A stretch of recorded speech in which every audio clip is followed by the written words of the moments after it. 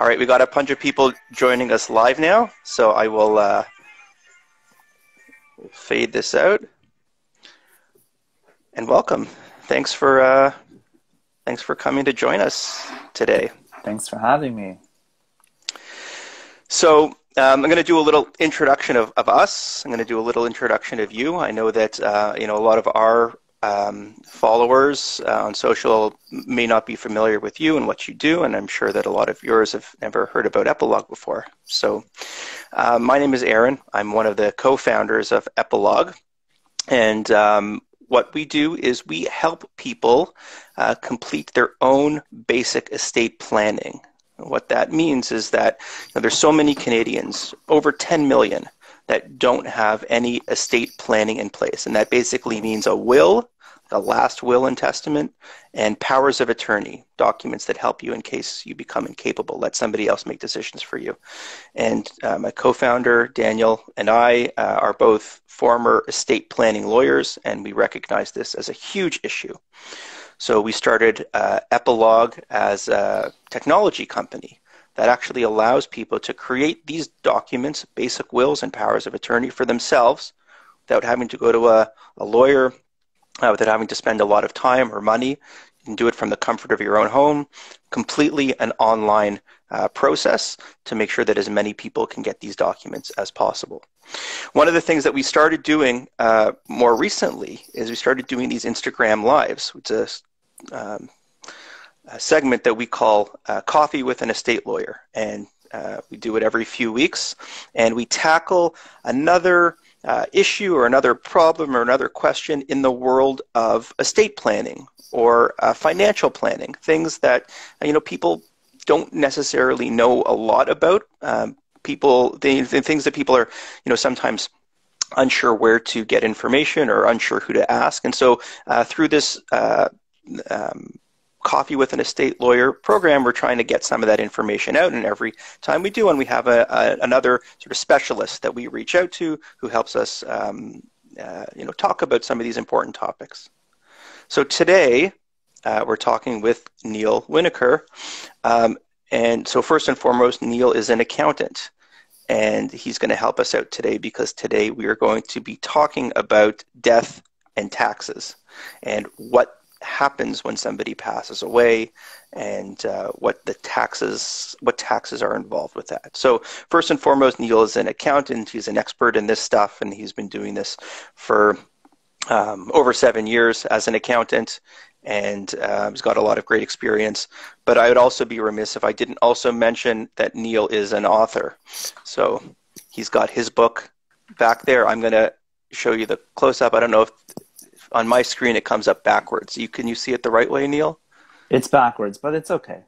Okay, so if you can, it, it's, it's, called ba- the grumpy. It, it, it's backwards, just like our entire tax system is backwards. Okay, so yeah. that's a good segue into the, the, so the grumpy accountant. So Neal is, although he's a really nice guy, he is a grumpy accountant. Um, Neal wrote this book um, to help highlight uh, what in his mind is a huge problem with our tax system, which is basically how complicated it is and how convoluted it is, and how we we've got you know hundreds of different forms and nobody you know it's very hard for somebody without any knowledge of this system to sit down and be able to do their own taxes. And there's programs that exist that help us with these things but there are so many uh, nooks and crannies and intricacies, and and Neal points out a lot of them in his uh, in his book. Uh, and another uh, really great thing that he does is um, he actually helps people out. Like he doesn't just tell people the problems. Like he he's come up with some solutions. He could talk a little bit about those, um, but he also gives people um, you know, some some helpful tips. And then the last thing I'll mention before I give Neal a, a chance to sort of tell us a little bit more about himself is he is a co-founder of a company as well. Uh, this is uh, relatively new, but um, if anybody is watching or if you know of anybody who is a real estate agent, Neal's uh, accounting practice is now laser focused on helping um, real estate realtors, real estate agents um, with their taxes and whether they're sole proprietors or whether they have um, uh, you know a, a new uh, real estate professional corporation, which is a new thing uh, that that people can only do recently. Neal's working on that. So Neal, why don't you you know introduce us a little bit more to yourself and tell us about what you do and, and where you're coming from? Yeah, sure. Well, like you said, I'm an accountant. I'm a grumpy accountant because once you really know how our tax system works and you see how ridiculously complicated it is, um, how could you not be grumpy? And It always amazes me when I talk to other accountants who like actually enjoy this and and and they'll say, "Yeah, our tax system is great. It makes sense. It's fine." I'm like, "What?" And it just blows my mind that people can think there's nothing wrong with our tax system. So I'm very outspoken about it, and that's what my book is about, The Grumpy Accountant, about how complicated it is, my ideas on how to simplify it, and also um, you know, like you said, there's tax tips in the book as well. So I'm very outspoken about how complicated our system is. I my dream, like this is literally my dream, and it's what I think about. The the last thing I think about before I fall asleep at night is like, why do I have a job filing tax returns? There should be no no such job should exist. People should be able to um, really file on their own, or most people actually not even have to file a tax return at all which sounds so radical and foreign to us as Canadians, but actually in many other countries in the world, that is how the system works. They call it a no filing tax system. So I could go on for hours about that issue, um, but I know that's not the topic for today, but we can talk about that. Um, and yeah, and I, I recently co-founded a new accounting firm called RealtyTax.ca, which spe- specializes in uh, real estate agents, realtors, helping them incorporate their new their corporations, which they're allowed to incorporate now, and whether they're incorporated or not, we service uh, real estate agents here in Ontario. So, you know, what, what, I'm hearing from you, and sort of where I think there's like a lot of uh, sort of uh, convergence of our opinions and point of view and stuff like that is that you know whether it's estate planning or whether it's taxes things are complicated. And it means that things get expensive and it means that people shy away from doing it. Mm-hmm. and uh, you know they're not sure how to approach it. And so they rely on professionals. And i think in, in both cases we're saying like it doesn't have to be that way. We can make things more affordable more accessible and uh, and you know just a, a simpler more approachable system for people. Yeah exactly um, okay, so one thing before we dive into the taxes, one thing I'll ask you about. I asked you if you had, because we call this coffee with an estate lawyer. Daniel and I, when we were doing these together, we would often compare mugs, and so I asked you if you had any interesting mugs to bring today. Okay, so I don't know if you could see. How do I? This is my Seinfeld mug. This is my favorite mug that my wife got me one year for, I don't know, our anniversary or Father's Day or whatever it was. So I don't know if you could see it. It has every catchphrase. It has these pretzels are making me thirsty. She had man hands. Look to the cookie. Are you still master of your domain? You're killing a dependent George. You're an anti-dentite. He's a mimbo. Not that there's anything wrong with that. And, you know, and so forth. All right. So that's and uh, Neal's a big Seinfeld fan. Uh, if you are a Seinfeld fan and you're interested in in his book, there's a lot of Easter eggs in there. Like the whole, there's just a lot of references to uh, Seinfeld. I see you have uh, the Kramer in your in your background, um, and I brought my City of Toronto recycling bin mug with complete with raccoon sticking out of it. This was oh one that I God. got uh, wow. uh, just before the holidays. Okay, so let's dive into it. Um, there's an expression. It says that there are only two certainties in life death and taxes, right? And so that's what we're going to talk about today. So you've got you've got about 20 chapters of your book devoted to all the way that the tax the tax system in Canada touches our lives while we're while we're living, right? So whether that's payroll taxes because you you're you're an employee somewhere and you're getting money deducted off your salary for taxes, or whether it's savings through like an RRSP or a TFSA, these are all the things that happens throughout somebody's life and you're you you know as you describe in your book there's a there's a heavy tax burden on the Canadian public. So it must be the case that like once you're dead, there's no more taxes to worry about. That's the way to get out of paying taxes. I must be correct there. Obviously, you're not correct. Uh, it never ends. Okay, so when somebody dies, you would th- like like you said, you would think it's over, but it's not.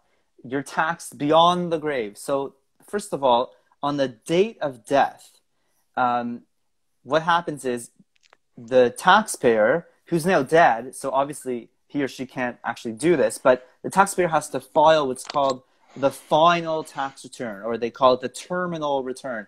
So this is the final tax return, which is basically from January 1st until the date of death. And in that final tax return, which is filed by the, you know, the executor of the estate, somebody has to file it. Um, and it's pretty complicated how to actually get that done. It's not as simple as people think. Um, there could be a very big tax bill in that final tax return um, for a number of reasons. So that that's one aspect of it is the final tax return. And then if there's still income being earned after the date of death, then the that becomes what's called the estate and all assets go into the estate and then the estate has to file a tax return every year to report any income and that we report on what's called a t3 a trust return so you could have in theory a person dies in let's say the year 2021 and for the next 20 years the estate is still filing a tax return. So because there's still income being earned. Um, so like even let's say if you don't believe in the afterlife well this is the afterlife. What if, if not like what what is the afterlife if not this estate t3 your name lives on through this estate trust tax return has to be filed every year? So so one of the questions that people ask me a lot. I mean, I practice in this area as an estate planning lawyer and as a tax lawyer. You know, one of the basic questions is like, you know, is there an inheritance tax? Is that what you're talking about when you say somebody dies and there's tax? Is that an inheritance tax that we have? Okay, so inheritance tax would mean the person inheriting the money from the person who died would have to pay a tax on that inheritance. I just see in the in the questions someone just wrote, "Is there a death tax in Canada?" So it depends how you define death tax. So a lot of people think we don't have a death tax, um, but the way it works is like this: if you inherit money, let's say you have a relative who died and you inherit the money, you do not have to pay tax on the money that you inherit. So in that respect, there's no inheritance tax in Canada. However, the person who died has to pay a big tax bill on the date of death because what happens is it's called a deemed disposition, which means Disposition means like a sale. All the assets that the dead person owned on the date of death are considered deemed by the government to have been sold. Though they haven't actually been sold in reality. But in, in, in the wonderful, magical world of tax land, this theoretical, nonsensical, irrational kind of system of law, they are considered deemed to have been sold. So what happens is whatever you own, whatever assets you own. Now, there's some exceptions and exemptions, and it gets a little complicated. But basically, you might have to report in that final tax return a big capital gain. Um, and so half of the value of the assets would be tax free, but half of it would be included in income, resulting in a big tax bill. Now, once that tax bill is paid and the estate is settled, then the money can be passed on to whoever inherits the money. And at that level, there's no taxation because the tax was paid in that final tax return. So, so let's just um, let's talk about this deemed disposition for a second. Maybe uh, uh, just an example to help tease it out for people a little bit. So, I buy shares in a company. Let's say I buy shares in Bell for hundred dollars when I'm 30 years old, and I hold those shares. I don't sell them. I hold them for my entire life, and then I yeah. pass away when I'm 90 years old, mm-hmm. and the value of those shares has gone up. Yeah. Right. So when I pass away, the the Canadian government treats it as if I sold those shares the day I died. Exactly. Whether I actually sold them or not is irrelevant. Right. But they treat it as if I sold those shares. And if yes. I bought them for $100 and then when I pass away they're worth $5,000, then right. there's a gain there. The government says you've made money. Yes. And they're going to tax me on that on that gain. Exactly. So that capital gain, if you bought it for hundred dollars and now they're worth, did you say five thousand dollars? Yeah, I just picked a number. Yeah, it's very ambitious. So so that gain, forty nine hundred dollars per share. That's a capital gain. So half of that is tax free, but the other half gets included in the income in that final tax return, resulting in a capital gains tax to be paid in that final return. Um, so some a lot of people the problem that they run into is a cash flow problem because remember the shares actually have not actually been sold so there's no cash to sitting around to pay that tax. So it's something that you have to people have to plan for. Um, so I would actually prefer if they abolish the deemed disposition at death and then put in the inheritance tax instead. I mean, I mean, I'd be happier if they just abolished the tax entirely, but I understand. I, I, understand the theory behind the behind the tax, right? Because it, I mean, but I'd rather, for cash flow purposes, it'd be easier to have the inheritance tax. Someone inherits a bunch of cash, they can. It's like it came, the money came in, they could pay the right. tax. Now, if they inherit the shares and they haven't sold the shares, then you have the same problem. So it's a it's it's a weird kind of tax because it's basically a, a, it, you're taxing an unrealized gain. You haven't sold the shares, so how? So there's no realized income. So it's a difficult thing. So when people do estate planning, they have to plan for this. You have to look at whether you have to look at your assets. What assets do you own? Um, now, the principal residence would be exempt from this. The value of your house would be right that you live in. But if you own a family cottage, right, and you own a house in the city or something, well, one of those you're going to have to pay tax on, right? So people have to plan for this um, when they do estate planning. Like, come up with a list of everything you own, and you know the TFSA, the RRSP might be exempt. Oh no, not RRSP actually. Sorry, but the TFSA might be exempt, and there's other exemptions.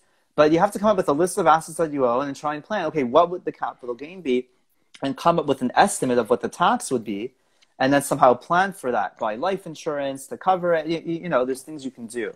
Yeah, yeah, we had a, actually. I think it was the last coffee with an estate lawyer uh, that that Daniel did with uh, with um, an insurance professional who was talking about this very thing. You know, the thing, the reasons you buy life insurance, and certainly tax covering this tax liability is one of them. You mentioned RRSPs, right? Mm-hmm. It's um, you know a lot of people are encouraged to save in an RRSP, and so and that's tax free, right? In fact, it's, it's it's really good because like if I'm contributing to my RRSP, it's actually reducing the tax that I pay on a year by year basis. Right. So that money's sitting in my RRSP. It's accumulating. Uh, yep. Uh, it, you know, it's it's it's growing and it's growing tax free. Right. So what happens to that when somebody passes away? Yeah. So RSPs, a lot of Canadians aren't contributing to their RSP because they think, well, I'm going to have to pay tax later on. So what's the point? But it, um, Jamie Golombek, he's a commentator in the Financial Post. He's one of the top tax guys in the country. He works at CIBC Wealth Management and he actually ran the numbers. He did this. He released an ebook recently about RSPs for people who own small businesses and just regular employed Canadians. The RSP is still very beneficial. I always recommend people contribute if they're able to. And same thing with TFSA. Max out your TFSA. It's a no-brainer. Um, but the RSP, even though you'll pay tax later on, it's still worth it because you pay less tax each year you contribute. And then once the money's in there, it grows tax free and you can reinvest it. So all that tax-free compounding really adds up. Now, the downside is when you after you turn 71 years old, the money starts coming out of your RSP at fixed rates and, there, and it goes into your income and you pay tax. But it's still worth it because if, if you start investing when you're, let's say, 25 years old and you have until you're 71 years old, that's whatever, almost 50 years of tax free compounding within the account. Um, so it's very beneficial. But, but on the date of death, if you still have money in there, and usually it's called a RIF, R-R-I-F at that point. The R's RSP converts into this thing called a RIF. Um, but on the date of death, the full va- value of whatever is left in there gets included in your income, in your final tax return. And a lot of people don't realize that and they don't plan for that big tax bill. So that's something um, that people have to keep in mind that when you do the estimate of what tax you might owe on the date of death, you have to look at what will the value of your art of your RIF be at the date of death because that gets included in your income. So what some people do to plan for this is they'll withdraw money from the RIF each year if they're still in the lower tax bracket.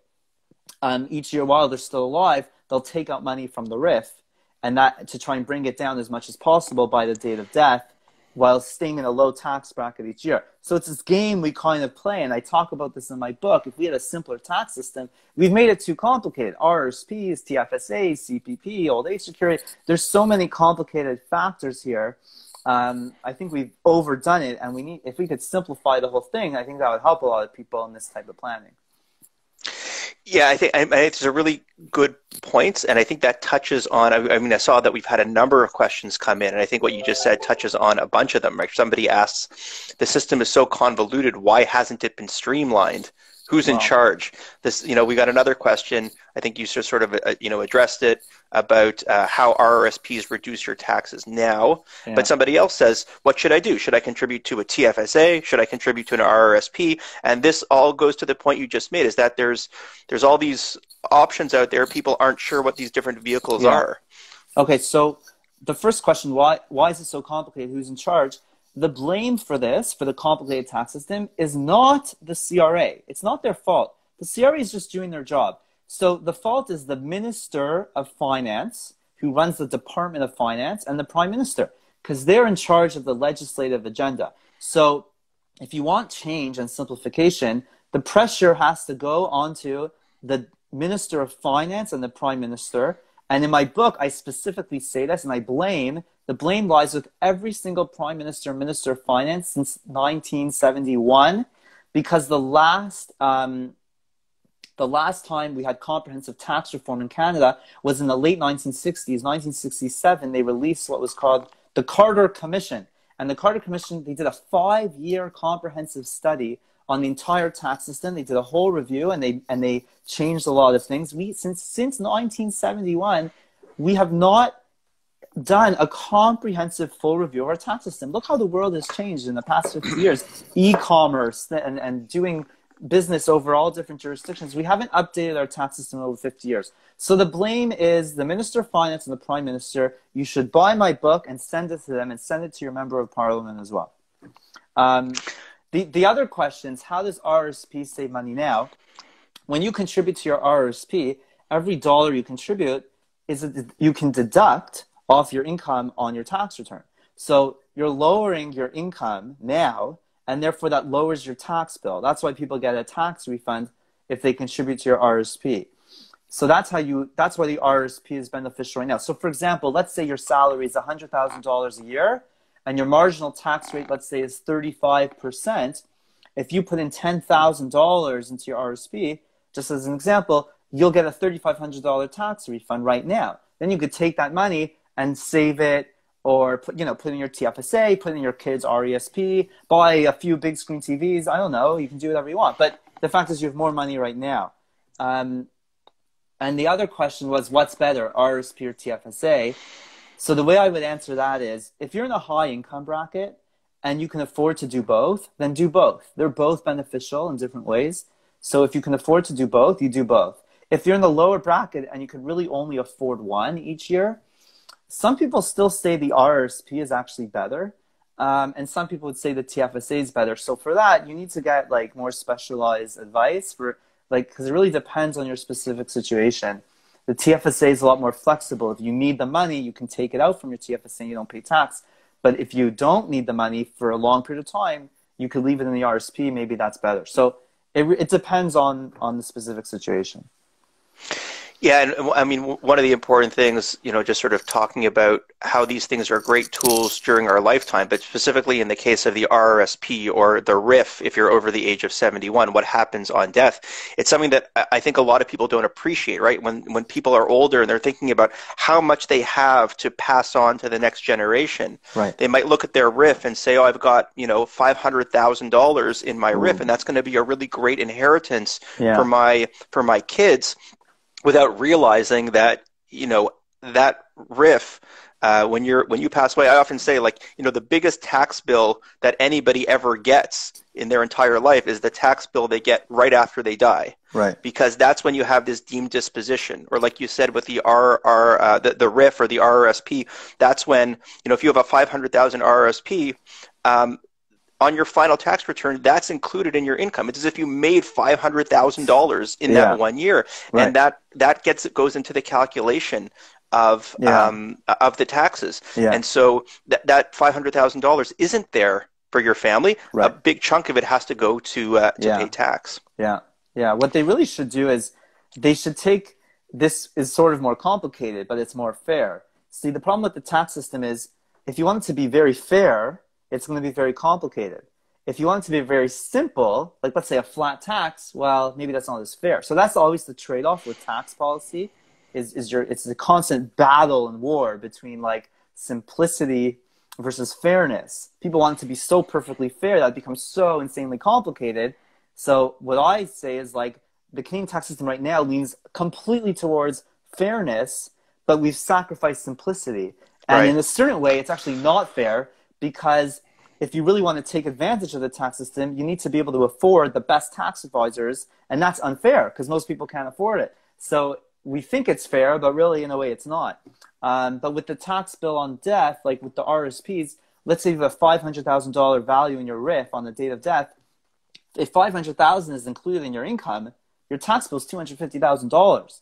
So that's a that's the big problem. See what I think they should do? Take an, what's the average tax rate you paid throughout your entire life, and that should be the tax rate applied on on the date of death in your final tax return, right? It's not if you never paid the fifty right. percent tax rate every year you were alive, why should you have to pay it in the last year just because the value, right? So there's a there's a bit of a, but the the other side of the argument would be, well, no, remember you got a tax refund every year you contributed to RSP, so now yep. we're just taking it back. So um, it, it's all like it's it's complicated. It's not as simple as I make it out to be, but um, the point is, people have to plan for this date of death, uh, big tax bill. Just to give uh, just to give everyone an idea, this is this is Neal's book. It's a very easy read. The, the Income Tax Act. How many of these would I have to stack up to get to the size of our Income Tax Act? The Income Tax um, Act is three thousand pages long. My book is less than two hundred pages. My book reads as a novel. I stole the idea from the Wealthy Barber I actually spoke. no, well, I spoke to David Chilton, the author of The Wealthy Barber. I told him I want to write a book, The Grumpy Accountant, and I want I want to write it as a story. So my book is about Jerry and George and Elaine, and they go through the tax system. George is the grumpy accountant, and David Chilton told me, "Yes, go." I, I asked for his permission, and he said, "Yes, you can. It's a great idea. Go for it." Um, but yeah, the Income Tax Act is over three thousand pages. It has one million, over one million words. Okay, nobody can understand it. Nobody really reads it honestly. Um, and it's funny because when income tax first came to Canada, it was 1917. It was supposed to be a temporary measure to help fund the cost of World War One. Remember, World War One was 1914 to 1918. So in 1917, the government like running out of money. There's all these debts from the war and they put in what was called the Income War Measures Act. It was it was just for the to fight the war. It was supposed to be it was supposed to end when the war ended. Um, and of course, it's over 100 years later, we still have it. But when, in, when the Income War Measures Act first was established, the legislation was only 20, no, it was 11 pages long. 11 pages, you could read it in 20 minutes, and it only forced the top 2%. You know how Bernie Sanders, the top 1%? And the Income War Measures Act was only the top 2% of income earners had to file a tax return and pay income tax. The bottom 98% did not have to file a tax return and did not have to pay any tax. Today, as soon as you earn $14,000 of income, you have to pay tax. And even if you earn zero income, you have to file a tax return. If you want to receive GST credits, Canada Child benefits, even if you have no income, you must file a tax return. You won't receive any benefits without filing a return. So the system has become insanely complicated where we force literally like 28, there's 28 million people every year in Canada that are filing a tax return. That is insane. So what I show in my book is a way to simplify the system that could be revenue neutral to the government. We don't have to abolish taxation. We could have the same amount of tax collected, but in a much simpler way where we free people from the burden of filing. Okay, so I'm going to ask. So um, going back to the topic of the death and taxes, right? Because there's yes. one other tax that somebody asked about in the questions that I want to get to, and it is uh, called a probate tax. Daniel and I have talked about probate, and it's one of these words that people hear, mm. right? I need a probate a will. Yes. But nobody really knows what that means, and so we've we've we've talked about uh, Daniel and I have talked about, if uh, people have watched other other uh, you know coffee with an estate lawyer episodes, that probating a will means proving the will. It means going to the court and getting like literally the court seal on the will, saying this is the last will. Mm-hmm. But like many other things, around you know death there's a tax associated with that too right could you speak to that a little bit yeah so it varies by province this is a provincial thing so some provinces have just a flat fee where they charge you $100 and that's it and they'll stamp the will but ontario in ontario we have um, i'm just looking at it now there's a cost it's $5 per every $1000 for the first 50000 of your estate of the value of the estate and above 50000 you pay $15 for every $1,000. So it could really add up. And they include in here, so basically it's an asset tax. It's a tax on the value of your assets. So you add up all the assets, um, and then you, you calculate the value, and then that's how they calculate the, the tax that you owe. And they include in this, this is where people get hit and you don't realize your principal residence, the value of your house on the date of death um, would be included. So a lot of people get hit with that because, uh, as we know, especially in the GTA, uh, Vancouver as well, like the real estate market has really gone up in the past, you know, 10, 15, 20 years, right? So um, this could be a big burden on families as well that people don't plan for and might not have the cash flow either because it's not an income tax. It's not based on income. It's based on assets, the value of the of the asset. Yeah, I mean, this is this is one that I mean, practicing as a, an estate planning lawyer, probate probate tax is something we always uh, tried to address when we were helping people do their planning, and it really is um, this uh, somebody ask, asking a question when is it required to probate a will? So so there's no law that says you have to probate a will. So when when uh, somebody's named as the executor uh, in a will they get their authority from the will itself. So they they can they have authority over the estate.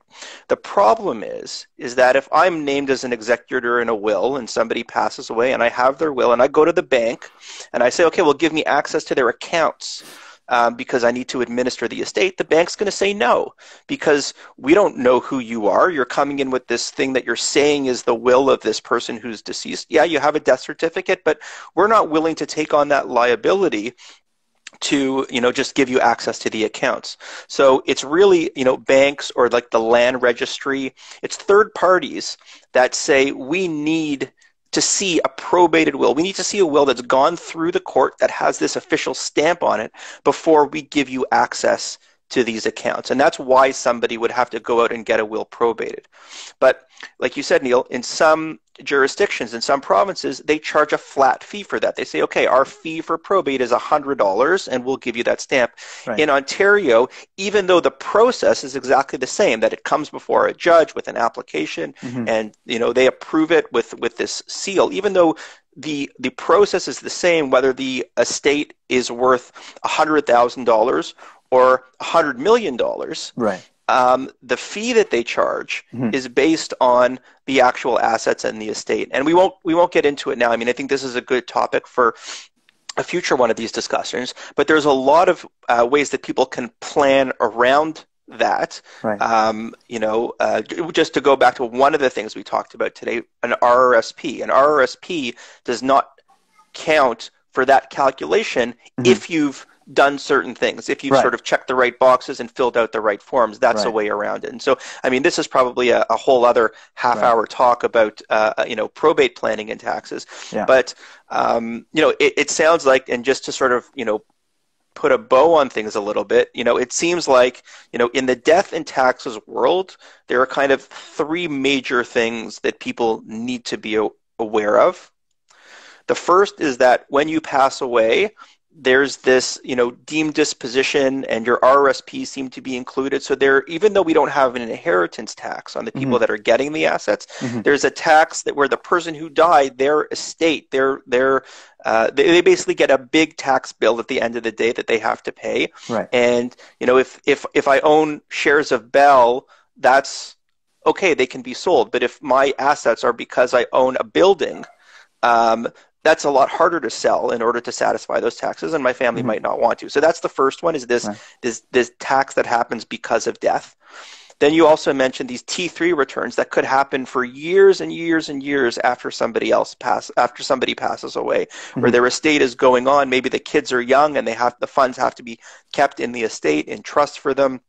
for many Right. years to be to, for many years to come, Mhm. and uh, and so that's an annual tax filing that could go on for a long time. Mhm. And then the last one is this probate, which is another tax that people have to be aware of. That especially if you're in a jurisdiction like Ontario, you have to be mindful of what your assets are because there's going to be uh, a tax to pay at the end. Right. Right. Exactly. Yeah.